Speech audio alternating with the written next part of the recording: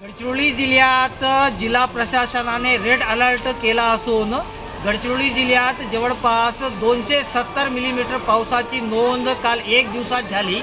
आणि गडचिरोली जिल्ह्यातील भामरागड तालुक्यातील पेरमिली जे गाव परिसर आहे या गावात रस्ता बंद असल्यामुळे जवळपास कालपासून बस सेवा खोडमंडली आहे.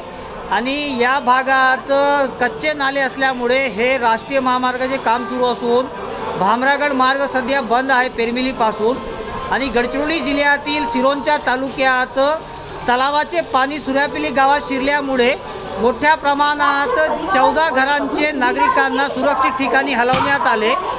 आणि गडचिरोली जिल्ह्यातील काही भागात रिमझिम पाऊस सुरू आहे.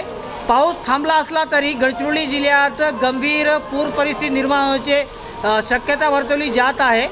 कारण की गोसीखुर्द धरणातून मोठ्या प्रमाणात पाण्याचा विसर्ग होत असून सध्या पाण्याच्या विसर्गामुळे वैनगंगा प्राणिता गोदावरी या नद्यांना पूर येण्याची परिस्थिती आहे. आणि काल माडेल जी शाळा आहे शाळेच्या वसतिगृहात जवळपास ऐंशी ते नव्वद विद्यार्थी होते. हे विद्यार्थी शाळेमध्ये अडकले पुराचं पाणी वाढल्यामुळे.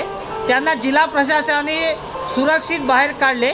आणि कस्तुरबा गांधी बालिका विद्यालयात हे जवळपास नव्वद विद्यार्थी जे आहेत ते तिथे हलवण्यात आलेले आहे. आणि सध्या गडचिरोली जिल्ह्यात गंभीर पूर परिस्थितीची शक्यता असून गडचिरोली जिल्ह्यातील अनेक दुर्गम भागात जे आहे ते बस सेवाही बंद आहे. शिरोंच्या तालुक्यातील टेकडा जे भाग आहे जाफराबाद इथे ना नाल्याच्या पाण्यामुळे येथील बस सेवा बंद आहे. जवळपास दोनशे विद्यार्थी जे आहेत ते काल बसस्थानकावर होते आणि तिथून पोलीस प्रशासनाने त्यांना खाजगी वाहन करून व्यवस्था करून पाठवण्यात आली. आणि गडचिरोली जिल्ह्यात सध्या पाऊस थांबला तरी अनेक भागात नागरिकांचे जनजीवन विस्कळीत आहे. कॅमेरामॅन जीवन कुमारसोबत सोबत टी व्ही नाईन गडचिरोली.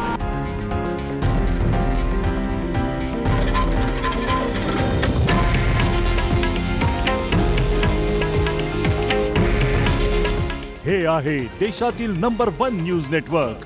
आणि आपण पाहत आहात टी व्ही नाईन मराठी. काळजी तुमची हित महाराष्ट्राचं.